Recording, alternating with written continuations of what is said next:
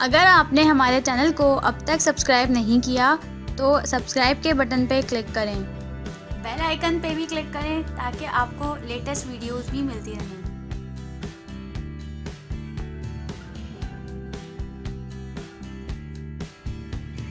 अस्सलाम वालेकुम। Welcome to my channel recipes town. आज जो आपके लिए रेसिपी लेके आए हैं, उसका नाम है चाइनीज़ समोसास जिसके लिए हमें सबसे पहले चाहिए चिकन।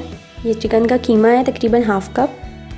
कैरेट्स यानी गाजर हाफ़ कप शिमला मिर्च, यानी कैप्सिकम हाफ़ कप कैबेज यानी बंद गोभी हाफ़ कप इसके अलावा इसमें सीजनिंग्स में जो जाएगा, वो जाएगा soya sauce two tablespoon hot sauce one tablespoon सिरका one tablespoon sugar half teaspoon ginger garlic one teaspoon salt according to your taste black pepper powder one teaspoon oil three tablespoon इस oil में हम अपनी filling तैयार करेंगे। इसके अलावा इसमें समोसा पट्टी हसब ज़रूरत है इसमें यूज़ करेंगे। ये मेरे पास पानी है और ये आटा है, जिससे हम इसका पेस्ट बना के इसको बाइंडिंग के लिए यूज़ करेंगे। इसके अलावा ऑयल जाएगा फॉर फ्राइंग अब आपको बताते हैं इसको बनाना किस तरह। जी तो मैंने अपने पैन को अच्छी तरह से गर्म कर लिया, मैंने कढ़ाई चढ़ा ली थी। अब इसमें ऑयल डालेंगे। थ्री टेबल स्पून हमारा ऑयल था। अब इसके अंदर हम अपना चिकन का कीमा ऐड कर देंगे। और इसी के साथ इसमें जिंजर गार्लिक पेस्ट भी ऐड कर देंगे। इसको अब अच्छी तरह से इसको सॉटे करना है ताकि चिकन का कच्चापन निकल जाए और इसमें एक अच्छा सा वाइट कलर भी आ जाए। अब इस स्टेज में जब हमारी चिकन का कीमा अच्छी तरह भुन चुका है, अब इसमें हम अपनी वेजिटेबल्स ऐड करेंगे। शिमला मिर्च कैरेट्स यानी गाजर हमारे।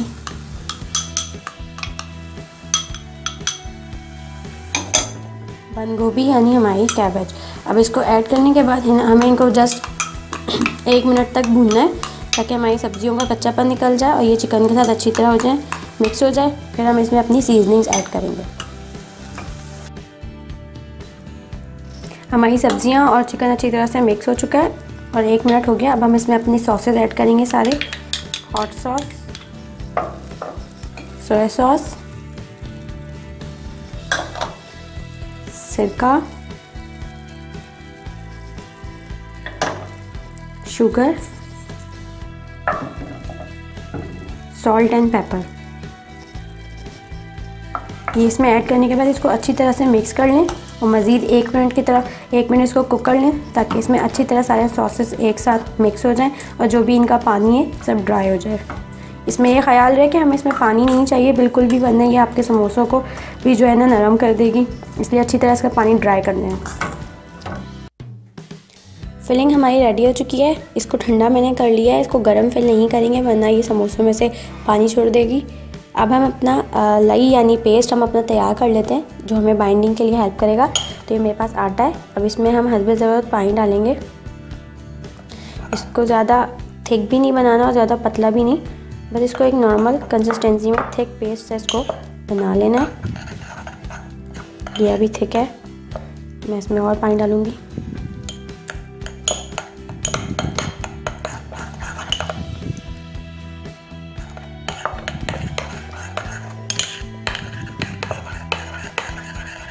अब ये बिल्कुल सही उसमें आ रही है कंसिस्टेंसी में। ये मेरा पेस्ट देख सकते हैं आप लोग कि बिल्कुल रेडी हो चुका है। ये हमें बाइंडिंग के लिए हेल्प करेगा, यानी हम समोसों को जब अपने ज्वाइन करते हैं तो कुछ लोग एग भी यूज़ करते हैं, लेकिन मैं इस तरह से बनाती हूँ। तो ये मेरा जो पेस्ट है, ये बिल्कुल रेडी है। अब हम अपने समोसों में फिलिंग करते हैं। अब मैंने अपनी समोसा पट्टी ले ली है। अब इसकी हम फिलिंग करेंगे। इसको आपने यूँ लेना है। इसका जो ये वाला कॉर्नर है, इसको आपने यूँ बनाना है। एंड देन आपने इसको इस तरह से फोल्ड करके एक पॉकेट टाइप बना देना है। ये अब आप देख लें, मेरा पॉकेट बन चुका है। अब इसके अंदर हम हमारी जो फिलिंग है, वो हम फिल करेंगे। फिल फिलिंग जो है बिल्कुल मुनासिब होनी चाहिए, ज़्यादा ओवर फिलिंग नहीं होनी चाहिए। ये अब आप देखें, ये इसके लिए इनफ है। एंड देन आपने दोनों थम यहाँ रखने हैं टाइटली एंड इसको यूँ टर्न करना है। ये बिल्कुल आप देखें, मेरी समोसे की शेप आ गई है। अब जो इस वाले हिस्से पे हमें अच्छी तरह से पेस्ट लगाना है ये, ताकि ये अच्छी तरह से इस पर पेस्ट हो जाए इसके साथ। वरना अगर हम इसमें कम पेस्ट लगाएँगे तो ये फ्राइंग के टाइम खुल भी सकते हैं। इस जगह पे एंड ये जो आपका दो पट्टी है, इस जगह पे भी। इस जगह पे भी आपने इसको लगा लिया, और अब आपने जहाँ पे पेस्ट लगाया था, इसको इस तरह से, इसके साथ आपने यूँ टर्न करना है। एंड देन ये जो हिस्सा है, इसको आपने यहाँ पेस्ट करना है। तो ये आप देख सकते हैं कि मेरा समोसा अच्छी तरह से तैयार हो चुका है। अब इसी तरह बाकी भी तैयार कर लेते हैं और फिर इसको फ्राई करने चलते हैं। ऑयल हमारा अच्छी तरह गर्म हो चुका है। अब इसमें जो मैंने समोसे तैयार किए थे, अब हम इसको फ्राई कर लेते हैं इसमें अच्छी तरह से एक तरफ़ पहले गोल्डन ब्राउन कलर आने देंगे एंड देन हम इसको टर्न करके फिर दूसरी तरफ़ कलर देंगे।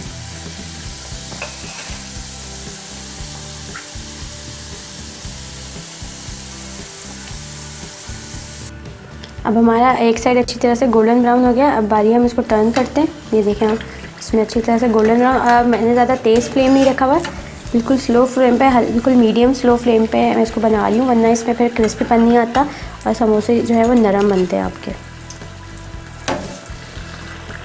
ये देखें, ये सारे गोल्डन ब्राउन हो गए हैं। अब इनको दोबारा से बिल्कुल मीडियम टू लो फ्लेम पे इनको फ्राई करेंगे।